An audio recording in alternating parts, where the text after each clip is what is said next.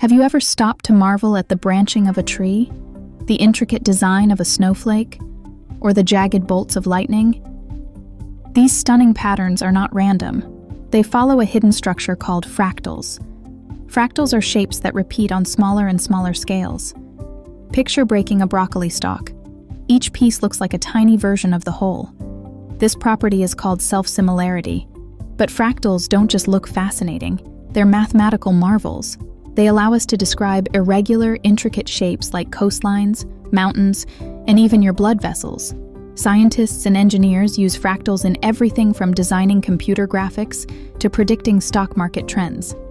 Ever heard of the famous Mandelbrot set?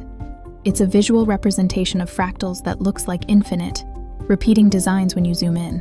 Fractals also help us unlock some of nature's biggest mysteries, illustrating the deep connection between mathematics and the physical world. Want to dive deeper? Check out my Hyperfocus channel for extended videos. The beauty and intricacy of the universe may lie in fractal patterns all around us.